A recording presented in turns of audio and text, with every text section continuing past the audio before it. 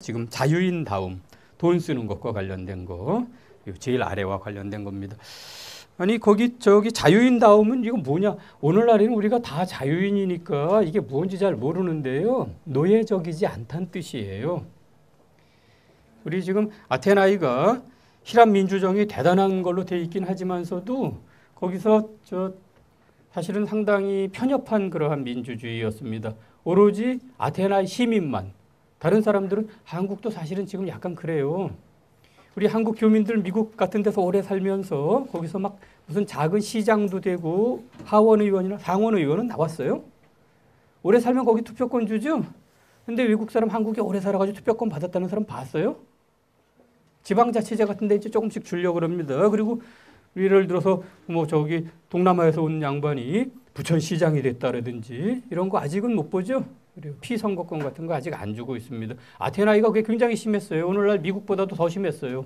부모님이 다 아테나이 사람이어야지 시민으로 인정하고 시민이어야지 민주정에 참여할 수 있습니다. 오로지 아테나이 사람만, 오로지 남자들만, 오로지 자유인만. 그래서 굉장히 편협한 민주정이었어요. 어쨌든 여기 자유인다움이라고 하는 거는 한편으로 계급적인 뜻이 있어서 그 노예 같지 않다라는 것. 그리고 그 사회적인 그 계급 말고도 그게 정신적인 데까지 이렇게 퍼져 들어가 가지고 우리 그 정신에 있어서 조금 뭐라 그럴까 편협하고 뭐 좀 비열하고 이렇지 않고 상당히 고상하고 이런 뜻으로 얘기하는 겁니다. 자유인이면 자유인답게 하자. 이거 돈 쓰는 덕목이에요. 자, 그래서 거기 그 절들을 나눠놨는데 1절에 자유인다움이라고 하는 것은 재물과 관련된 중용이다. 이게 중간입니다. 그 양쪽 끝은 뭐냐? 중용이라고 하면 양쪽 끝이 있죠? 여러분 되게 아시는 거예요. 아리스토텔레스의 중용 이론이라고 하는 거는 예를 들어서 저기 비겁과 만용의 중간이 용기다. 이런 식으로요. 그러면 요거 양 끝은 뭐냐? 낭비와 인색함입니다. 이런 것들이 사실은 나중에 쭉 가가지고 저 단테의 신곡에서 보면요. 낭비와 인색이 같은 데서 벌 받고 있어요. 지옥에서도 보면 돈자루 비슷하게 생긴 바위를 굴리는 걸로 돼 있습니다. 서로 반대편에서 2차로로 돼 있어요. 반대편에서 오면서 상대방을 막 욕하는 걸로 이렇게 돼 있습니다. 야, 이 낭비하는 놈들아 그러면 야, 인색한 놈들아 그러고 욕해요. 지옥에서는 서로 욕하고요. 연옥에서는 서로 이렇게 칭찬해주고 격려하는 걸로 돼 있어요. 그리고 자, 어쨌든 그거는 3번에서 나오게 될 거고요. 자유인답다라는 것은 재물과 관련된 중용인데 자유인다운 사람은 재물을 주는 일, 받는 일, 특히 주는 일과 관련해서 칭찬을 받는다. 그러니까 아리스토텔레스에서는요, 마땅한 대상에게서 마땅한 때에 마땅한 만큼 주고받고 해야 된다는 겁니다. 근데 어유 저 사람은 자기가 한 일만큼 돈을 꼭 받는 사람이야. 이런 건 별로 칭찬의 대상이 아니죠. 어, 저 사람은 적절하게 적절한 시기에 참 잘 내놔. 이럴 때 칭찬받죠. 그러니까 뭐 아니 자기가 일한 만큼 받는 거 당연한 거니까 그거는 별로 칭찬 안 해요. 그 얘기 지금 한 겁니다.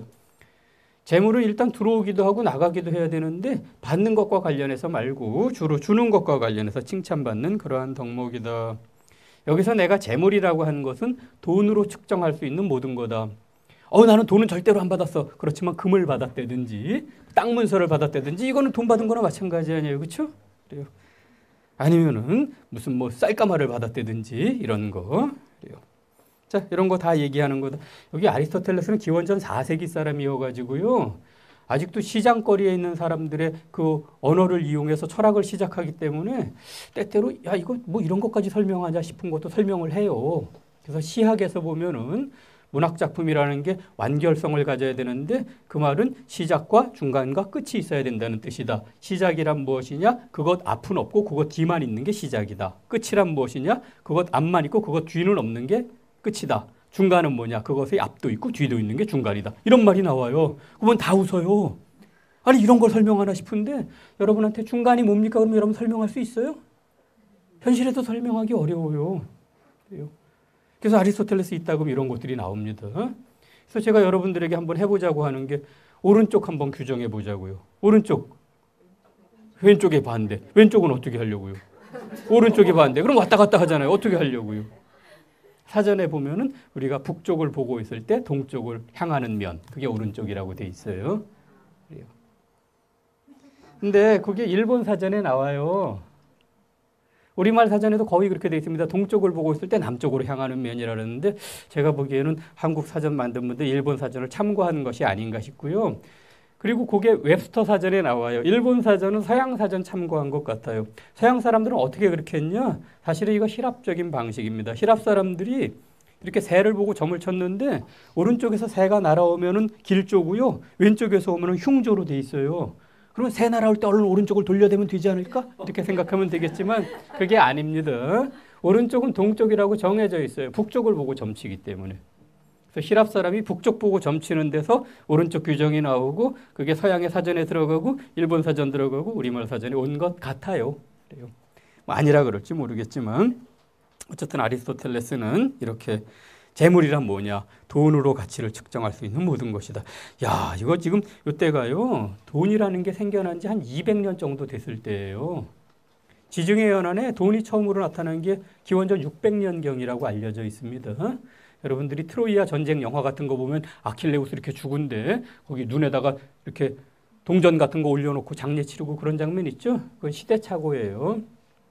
돈이 나타나기 한 700년쯤 전에 아킬레우스가 죽은 걸로 알려져 있어요. 물론 돈 이게 주화가 돌아다니기 전에 뭐 금덩이, 은덩이 이런 거 있긴 있었겠죠, 그렇죠? 어쨌든 우리가 옛날 것 동전이라 그러면 조금 위험해요. 동전보다는 은화를 훨씬 많이 썼습니다. 구리돈 말고. 자, 어쨌든 돈으로 측정할 수 있는 모든 거다. 그리고 3번에 가서 낭비와 인색은 재물과 관련된 지나침과 모자람이다. 지나치지도 않고 모자라지도 않고 딱 중간인 걸 우리가 찾아야 되는데 이 돈과 관련된 지나친 모자람은 바로 낭비와 인색이다. 낭비라고 하는 거는 너무 적게 받고 많이 주는 거고요. 인색함은 너무 적게 주고 많이 받는 거예요. 주고받는데 둘 다 모자람과 지나침이 있습니다. 그런데 재물과 관련해서 마땅한 것 이상으로 진지한 사람은 인색한 사람이다. 아, 돈을 너무 진지하게 생각하면 그 사람이 인색한 사람이라고요. 여기 지금 자유인다운 사람은 돈을 조금 우습게 여겨요. 돈에다가 아니 돈이 뭐 있으니까 쓰는데 거기다가 엄청난 가치를 부여하지 않는 그런 사람이라고 저 뒤에 나옵니다. 어? 그래요. 자, 인색하는 건 그런 거고 돈에 대해서 지나치게 진지한 사람. 반면에 낭비라고 하는 거는 이따금 내가 여기서 쓸 뜻보다는 조금 넓게도 쓴다. 좀 자제력 없고 돈 막 쓰고 이런 사람도 꼭 돈을 어디 가서 받을 거보다 그 적게 받고 줄 거보다 더 많이 주고 이런 사람만 얘기하는 게 아니라 그냥 돈 흥청망청 쓰는 사람도 어디 가서 말하자면 매번 돈을 제값을 제값만큼 내기는 하는데 너무 많이 쓰는 사람 그런 사람도 낭비하는 사람이라고 그렇게 얘기한 거예요. 이따금 넓은 의미로. 근데 이런 사람은 가장 조금 나쁜 사람으로 보인다라고 에? 돈 많이 쓰는 게 그렇게 나쁜 건가? 이렇게 생각하실 텐데 이 사람은 여러 가지 악덕을 동시에 갖고 있어서 그렇다라고요. 자기가 얘기하는 그 고유한 의미의 낭비하고는 조금 다르지만서도 이런 사람은 그 재산을 아 자기가 지금 이제 여기서 말하려고 하는 거는 자기 재산을 파괴하는 하나의 나쁨, 여러 가지 나쁨 다 갖고 있는 사람 아니고요. 그런 사람이다. 그래서 낭비하는 사람은 스스로 자기 자신 때문에 망하는 사람입니다. 여러분 단테의 지옥편에 보면요. 낭비한 사람들은요. 아까 저기 돈 굴리는 사람들 말고요. 재산 막 흥청망청 쓴 사람들은 자살자의 숲에서 거기서 또 벌 받고 있어요. 그 자기 재산을 날리는 거는 자살하는 거나 마찬가지다라고 하는 그런 게 있어서 그런 겁니다. 저 위에 인색함과 낭비 같이 벌 받는 데는 하고는 조금 다른 의미로 흥청망청 쓴 사람들이 거기 있는데 단테가 이걸 읽었는지는 모르겠어요. 그래요. 이거 비슷한 거 읽었는지. 우리의 삶은 재산에 의존하기 때문에 자기 재산을 파괴하는 것은 어찌 보면 스스로 망하자는 것이다라고요. 여러분 오디세이아에 보면요. 오디세우스가 전쟁터에 갔다가 바다에서 떠돌고 20년 만에 집에 왔더니 젊은 놈들이 막 모여가지고 오디세우스 부인한테 결혼하자고 막 그러면서 그 집 재산을 막 먹어치우고 있어요. 나중에 화살로 다 쏘아 죽이거든요. 가만히 따져보면은 아니 이 사람들은 남의 집 와서 돈 안 내고 밥 먹은 건데 무전 취식이니까 요즘은 경범죄예요. 근데 쏘아 죽이다니 이거 너무한 거 아니냐고. 근데 요즘에는 제가 어디 가서 강의하고 나면 그런 질문이 있다고 들어오는데요. 옛날 사람들은 그런 생각 안 했어요. 남의 재산 먹는 건 그 사람 죽이자는 겁니다. 옛날에 어디 가서 구할 데도 없는데 겨울에 막 식량 떨어져 가고 있는데 남의 거 빼앗으면 그 사람 죽으라는 얘기예요. 동화들이 조금 가혹하긴 해요. 신데렐라의 언니들이 유리구두 신으려고 막 발가락도 자르고 뒤축도 자르고 피를 철철 흘리면서 신발 신었다는 얘기 들어보셨죠? 그런 거 있어요. 자, 어쨌거나 여기 그 지금 이제 자유인다움 돈잘 쓰는 덕목을 얘기하는데 그것에 반대되는 거 낭비와 인색함. 인색함은 재물을 지나치게 진지하게 여기는 것이고 낭비라고 하는 거는 넓은 의미로는 소비를 너무 많이 하는 사람도 이렇게 얘기하지만서도 좀 본래적인 의미에서 그 스스로 망하는 사람 그렇다 자기 재산을 파괴하는 거는 스스로 망하는 것이기 때문이다 그래요. 자 그리고 조금 일반적인 얘기가 거기 6번에 나와 있네요. 쓰임새가 있는 것도 우리가 잘 쓸 수도 있고 나쁘게 쓸 수도 있는데 부라고 하는 것도 쓰임새가 있는 것이다. 아 이것도 어찌 보면 좋은 말이에요. 여기 아리스토텔레스가 부의 사용과 소유를 나누고 있습니다. 갖고 있기만 한 건 필요 없다는 거예요. 써야 된다는 겁니다. 부의 본질은 소유에 있는 게 아니라 사용에 있는 거라고요. 갖고 있는데 안 쓰면 그부 있으나 마나예요. 그래요. 잘 쓰자라고 돈 잘 쓰는 방법입니다. 그래서 가장 잘 쓰는 사람은 이와 관련된 탁월함을 가진 거다. 탁월성, 이게 덕이라는 겁니다. 히라보에서 덕, 아레테라고 하는 말은 덕이라는 거 아레테인데요. 덕이라는 말이 우리가 쓰는 뜻하고 조금 다르게 써요. 아레테라고 하는데요.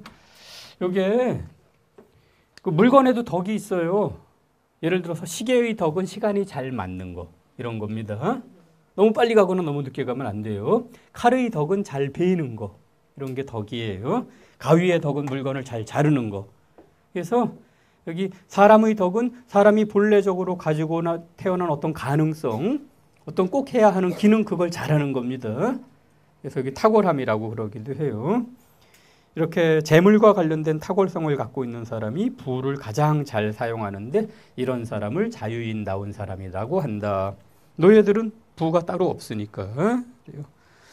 자, 그리고 7절에 가서 재물의 사용이란 쓰는 것, 돈을 쓰고 남에게 주는 거다. 반면에 남에게서 받는 것 그리고 그거를 지키는 것은 재물의 소유다. 거기 사용하고 소유를 비, 그, 대비하고 있어요. 자 사용할 때는 이렇게 남한테 나눠주고 밖으로 지출하는 거고요. 가만히 갖고 받아서 잘 보존하는 거는 그건 소유예요. 그래서 아리스토텔레스는요, 그 꼭 저 범주를 나누고 있어요. 적절한 상대에게서 적절한 양만큼 적절한 때에 적절한 방식으로 주고받고 해야 된다는 겁니다. 늘 거기 우리 보통 육하 원칙이라고 하는 거에 해당되는 거 그거 다 늘 들어가요. 받으면 안 되는 사람에게는 받지 말고 적절치 않은 시기에 받으면 안 되죠. 줄 때도 마찬가지예요. 그래서 돈을 아무한테나 주지는 않아요. 그래서 마땅히 취할 사람에게서 취하고 마땅히 취해서는 취하지 말아야 할 사람에게서는 취하지 않는 것. 그러니까 어유 내가 일해줬으니까 봉급은 꼭 받아야지. 어유 저 사람에게서는 이거 받으면 안 되겠군. 뇌물 들어오는 거 이런 거 안 받고 이런 건 별로 칭찬 안 하고요. 그것보다는 어저 사람에게 꼭 줘야 되는구나 하는 사람에게 주는 거. 주는 데서 주로 자유인 다움이 나타난다라고요. 제대로 받는 거, 제대로 안 받는 거. 그런 거에선 자유인 다움 많이 안 나타나요. 물론 뇌물 같은 거 안 받고 이런 사람도 뭐 정직하고 뭐 그런 사람이 되긴 하겠죠. 그렇죠? 근데 자유인다움은 아니다라고요. 잘 받아들이는 것보다는 남에게 잘 해주는 거 그게 더 탁월성에 속하는 거다. 부끄러운 일을 행하지 않는 것보다 고귀한 일을 행하는 게 더 탁월성에 속한다. 어떤 사람은요, 아, 난 부끄러운 짓은 안 해. 그렇지만 뭐 남들하고 상관없어. 좋은 일도 할 거 없어. 이런 사람도 있어요. 그냥 자기만 깨끗하면 되는 사람. 근데 거기서 한 걸음 더 나가서 남에게 더 잘 해주는 사람, 이런 사람이 자유인다운 사람이라고요. 겨우 자기나 뇌물이나 안 받고 이 정도는 뭐 그냥 그 아주 칭찬할 건 아니에요. 자, 에, 그리고 8절에서 남에게 잘해주는 것, 고귀한 일을 행하는 것, 그거는 재물을 남에게 주는 것과 같이 가고요. 그리고 선행을 받는 것, 남이 나에게 잘해주는 것, 그리고 내가 부끄러운 짓 안 하는 것, 이거는 주로 남에게서 받는 것과 동행한다. 그래서 남에게 잘해주려면 줘야 됩니다. 어? 그리고 감사라고 하는 거는 내가 어떤 사람한테 줬는데 저 사람이 안 받아서 그러 어유 고마운 일이야 이러지 않고요. 그보다는 누가 나에게 주면은 어그 사람에게 감사하죠. 그래요. 자, 그래서 늘 감사라고 감사와 칭찬이라고 하는 건 남에게 주는 사람에게로 향하는 걸로 그렇게 되어 있습니다. 안 받는 정도 가지고는 감사나 칭찬 같은 거 잘 안 나와요. 물론 너무나 뇌물이 횡행하고 그러면은 아유 저 사람은 뇌물 줘도 안 받아. 그래요. 이제 한국도 김영란법 때문에 그런 거 안 통하게 됐나요? 자, 어, 그래서 거기 구절에 가서 받지 않는 것은 주는 것보다 쉽다. 그렇죠? 안 주고 안 받기 그거 괜찮잖아요. 근데 안 받고 주기 이걸 하자고 말하자면은 사람들은 거기도 꽤 말하자면 좋은 말이 있어요. 사람들은 자기 것을 내놓는 것보다 차라리 남의 것을 안 받으려 그런다. 이거 저 마케팅의 원칙 같은 건데요. 사실은 이렇게 하면 저 세법 같은데 걸리는 건데 저기 여러분 현금으로 내면 깎아주는 데 있죠. 카드로 내면 이렇게 더 받고 그래서 현금으로 내시면 10% 할인해 드립니다라고 하는 것보다는 카드로 내시면 10%더 내셔야 됩니다라고 쓰는 게 더 효과가 있대요.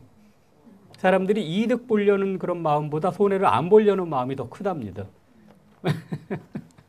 그래요. 저기 자기 것을 내놓느니 차라리 남의 것을 받지 않으려고 한다. 요거잖아요. 내놓기는 싫어해요, 사람들이. 여러분들도 저 주식 같은 데 투자했다가 주가 떨어지는데 막 끝까지 쥐고 있는 경우 많잖아요. 아까워서 못 내놓잖아요. 그렇죠? 그래요. 자, 어쨌든 내놓는 게 더 어려운 겁니다.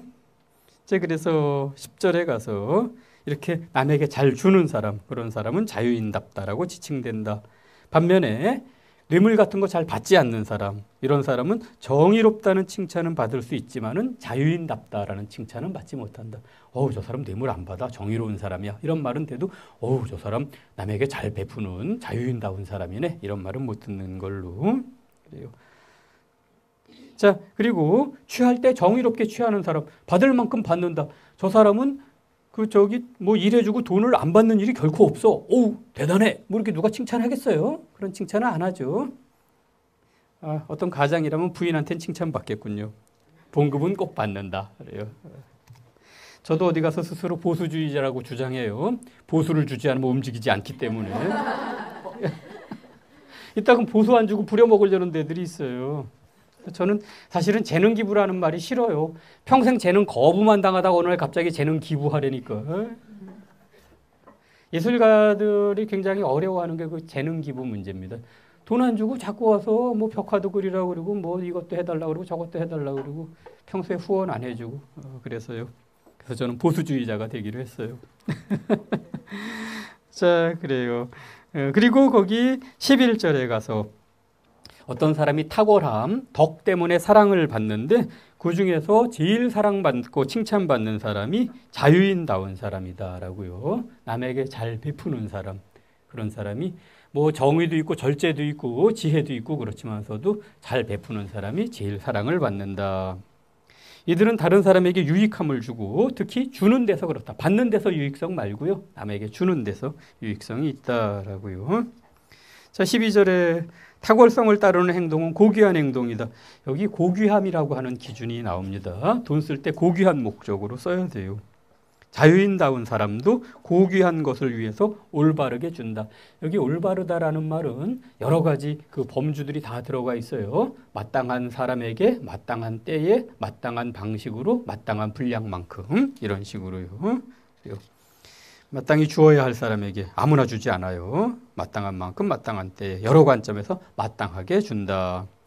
그리고요. 자유인다운 사람은 돈을 줄 때 즐겁게 줘요. 돈 주고서 아이고 아까워라 그런 사람은 자유인다운 사람이 아닙니다. 어? 근데 자꾸 주다 보면 즐겁게 되지 않나? 저기 어려운 가운데서도 기부하시는 분들이 있어요. 한 달에 국가에서 주는 돈 20만 원 갖고 살면서 그 중에 5천 원씩 어디다 기부하는 분들이 있는데 그게 굉장히 자존감에 도움이 돼요. 나도 남에게 도움되는 사람이구나 그런 느낌이 있어가지고 에이 어떻게 내가 뭐 나도 어려운데 이러지 마시고 한번 해보세요. 조금만. 자 즐거워하면서 혹은 고통을 느끼지 않으면서 남에게 준다. 우리 이따금 그럴 때 있죠. 친구들끼리 모였는데 오늘은 왠지 내가 내야 될 것 같은 그런 느낌이에요. 그럴 때 아유 이거 조금 부담되는데 에이, 그냥 내지 뭐 그래서 야 오늘은 내가 낼게 그런 순간에 갑자기 기분이 확 좋아지면서 신체적으로 여러 가지 그 좋은 현상들이 나타나는데 혈압이 내려가고 호흡이 안정이 되고 뭐 이런 식으로요. 머릿속에서 막 좋은 여러 가지 물질들 도파민이나 뭐 이런 것들 막 나오고 그런다고 그래요. 여러분들도 아마 아이 까짓 거 오늘 내가 낼게 이러는 순간에 갑자기 막 기분도 좋아지고 좀 목소리도 높아지고 농담도 막 나오고 그래 주변에서 또 호응도 해주고 그러잖아요. 그거하고 비슷한 겁니다. 참 준다라고 사람 사이에 그런 교류라는 게 참 이상해요. 이렇게 굉장히 불안해하는 사람들이요. 누가 손만 모르는 사람이 손만 잡아줘도 호흡이 안정되고 맥박도 내려가고 그런데요. 아는 사람이 잡아주면 더 효과가 있고요. 그래서 아마 그거하고 비슷하게 돈 쓰는데도 좀 그렇지 않나 싶습니다.